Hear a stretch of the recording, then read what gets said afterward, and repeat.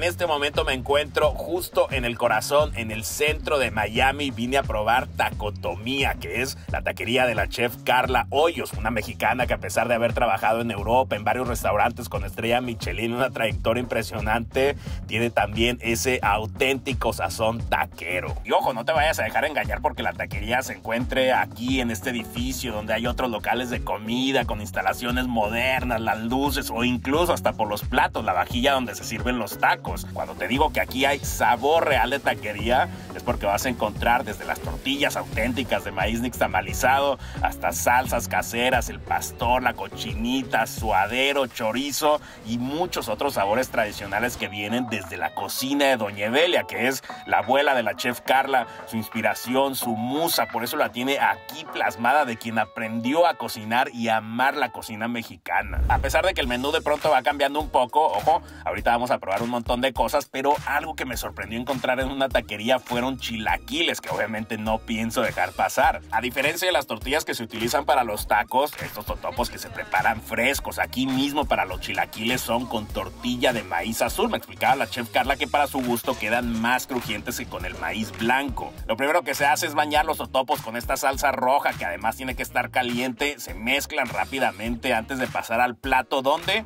ojo, llevan la primera capa de queso y crema. Se pueden pedir de cualquier guiso disponible en el menú, de pastor, de asada, de birria, lo que quieras, pero a mí se me antojaron mucho con este que es pollo al pibil. Esto que estás viendo fue donde ya me empezaron a conquistar porque aquí los preparan como ves en capas que no mucha gente lo hace. Se van agregando más totopos con la salsa y viene la segunda tanda de queso fresco, crema y más pollo al pibil que se termina con la clásica cebollita morada encurtida. Es un platón, como siempre deben de ser los chilaquiles bien servidos. La salsa está sabrosa y pica lo justo, pero lo que más me gustó, digo, ya me conoces, ya sabes que soy pro chilaquiles crujientes y estos están exactamente como me gustan, que a pesar de que no se logra escuchar, creo que con solo verlos se alcanza a percibir que no son chilaquiles aguados. Y el sabor del pollo al pibil está delicioso. No los he probado, obviamente, con otro tipo de carne, pero siento que este pollo es la mejor opción para pedir los chilaquiles. Te lo recomiendo bastante. Y para acompañar, no exagero cuando te digo que estos frijolitos refritos, que aunque cuestan extra, hay que pedirlos aparte. Me encantaría saber la receta porque son de los mejores que he probado. Dicen que de la vista nace el amor y mira que aquí lo vine a comprobar porque pues, simplemente ver las flautas en el menú, honestamente no creo que las hubiera pedido, pero ya que estaba en la cocina y vi cómo las estaban preparando, igual no me pude quedar con las ganas. Estas igual se pueden pedir de lo que se te antoje. Yo me fui por uno de mis favoritos que son las papas con chorizo y queso. Lo que hacen es mezclar estos tres ingredientes, va a quedar como una masita que va a ser justo el relleno de la flauta, que para la gente que no las conozca es una tortilla alargada y enrollada, de ahí viene el nombre. Ya una vez rellenas se van directo al aceite caliente hasta que queden bien doraditas, bien crujientes y estas te las sirven con su repollo verde y morado y al igual que los chilaquiles no hay flauta sin crema. Una buena pasadita con la salsa verde de la casa y para terminar queso fresco y un toquecito de cilantro. Lo mismo que te dije ahorita con los chilaquiles, mira, aquí estaban preparando otras con el pollo pibil y queso que seguramente están muy buenas, pero creo que no me equivoqué con las papas con chorizo. Estoy seguro que es la mejor combinación para estas flautas porque estaban buenísimas. No he probado un solo taco todavía, pero ya con chilaquiles y flautas tacotomía me está conquistando. Pero bueno, ahora sí para comenzar con el clásico favorito de chicos y grandes, vamos a entrarle al pastor que desde hace rato ya también me está haciendo ojitos. Aquí a diferencia de otras taquerías, la carne al pastor no va directo a la tortilla, la van cortando primero, luego se le da una pasadita sobre la plancha al mismo tiempo que se van calentando las tortillas y yo te digo que aquí hay estilo tradicional, estilo casero para hacer el taco. Es una sola tortilla, sí, bien servidos en cuanto a la porción de carne y lo indispensable que es cebolla blanca, te los dan ya con la salsa de la casa, infaltable la pica. Aquí la verdad sí me hubiera gustado mucho que estuviera la piña acá en el trompo en lugar de ya picadita, pero bueno, termina con cilantro y obviamente limón. 100% honesto, el marinado está rico, no es el mejor pastor que haya probado, pero cumple muy bien. Y dato importante es que la salsa con la que te entregan este y todos los tacos sí le aporta mucho sabor, pero en realidad prácticamente no pica. Así que yo lo que recomiendo es pedir o bien esta de serrano o esta otra de habanero, ambas muy ricas y picantes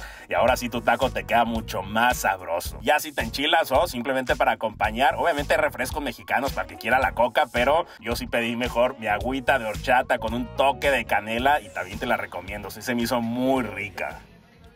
Yo crecí en la granja de mi abuela. Todas las vacaciones, todas las navidades, todos los veranos.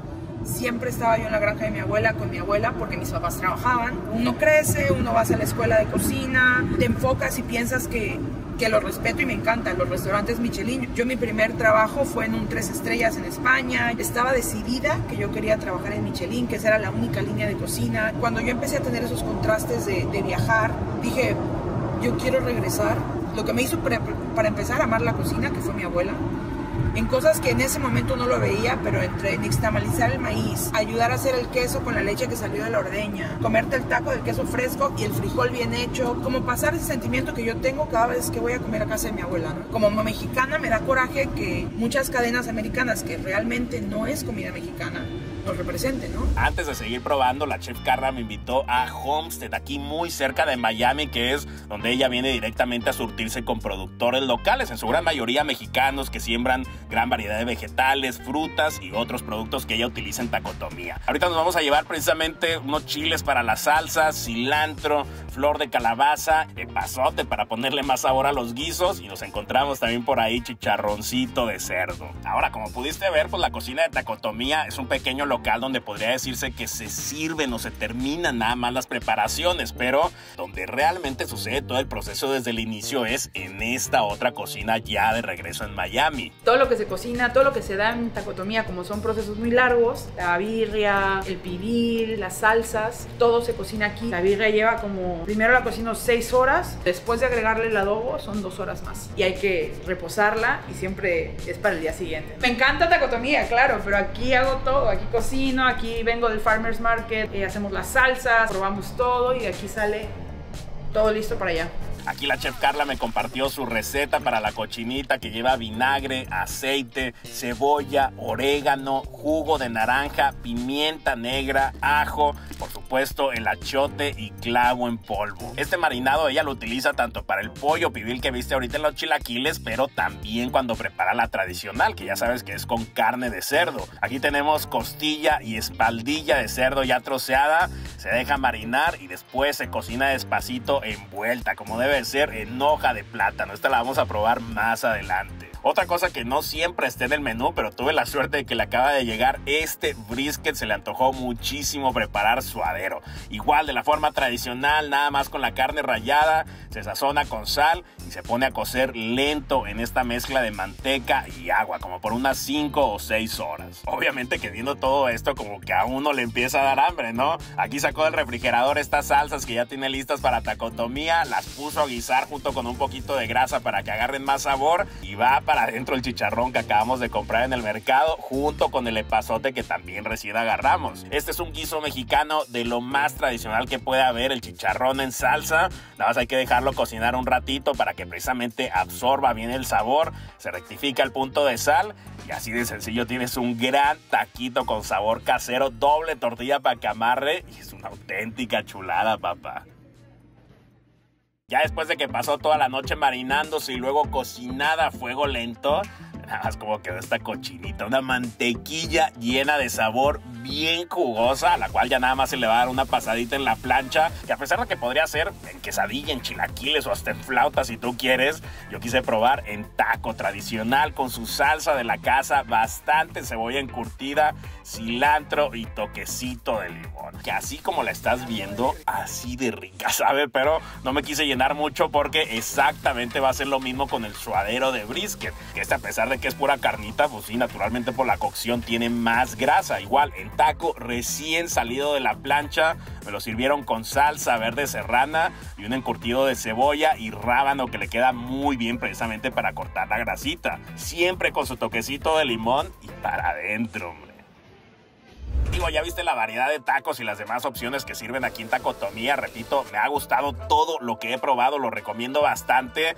Pero lo que quise dejar para el final es el famoso machete de Carla, que se vende aquí como pan caliente porque toda la gente le llama mucho la atención el tamaño. Lo primero que hacen es tirar una buena cantidad de queso para que se vaya gratinando. Encima ponen esta tortilla especial un poquito más gruesa y además de que se está gratinando, aquí lo que se busca es que se forme esa costrita tan de queso. Se puede pedir igual de lo que tú quieras, estoy seguro que con la asada tradicional, cebolla y cilantro sabe muy bueno, al pastor también con su piña y su salsa, pero yo no me quería despedir sin probar la birria de res, que ya nos decía Carla que la cocina como por 8 horas. Aquí mismo en la plancha se termina con cebolla y cilantro, la salsita de la casa y además el consomé, el jugo donde se prepara la carne. Esta usualmente te la van a servir con el consomé aparte, pero yo le dije, una vez échame la ahogada con más consomé, hombre. Es una auténtica bomba de sabor que está como para dos personas, la tortilla doradita, la costra de queso y la birra espectacular que no quieres dejar ni una gota del consomé. Mil gracias a la chef Carla Hoyos y a todo su equipo de tacotomía por recibirme, por enseñarme sus preparaciones, su cocina. Repito, si andas en Miami y tienes ganas de un buen taco de todo lo que ya viste, sobra decirte que esta es mi recomendación. Muchas gracias también a ti por ver el video. Cualquier cosa que quieras agregar, ya sabes, abajo los comentarios están abiertos. Más información, todos los productos que utilizo, links a mis redes sociales están en la descripción. Nos vemos pues en el siguiente.